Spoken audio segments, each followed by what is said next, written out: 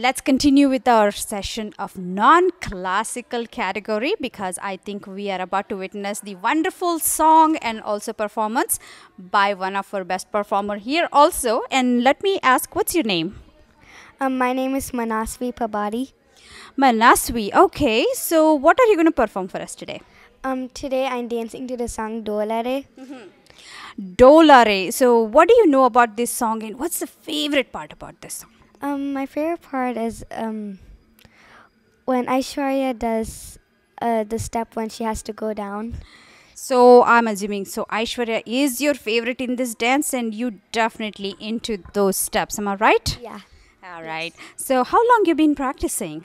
Two days. Then you must be very good. So, let's tell our audience our registration number. Uh, my registration number is one two. Let's two. show them too. There we go. So 1223 is a magical number. Definitely we need that all the way to TSK round. Am I right? Right. Okay. So um, now the comes part very. How excited are you? Tell me with like real big excitement. I'm very excited. okay, I like that enthusiasm and I would like to wish you all the best. You ready? I'm ready. Thank you.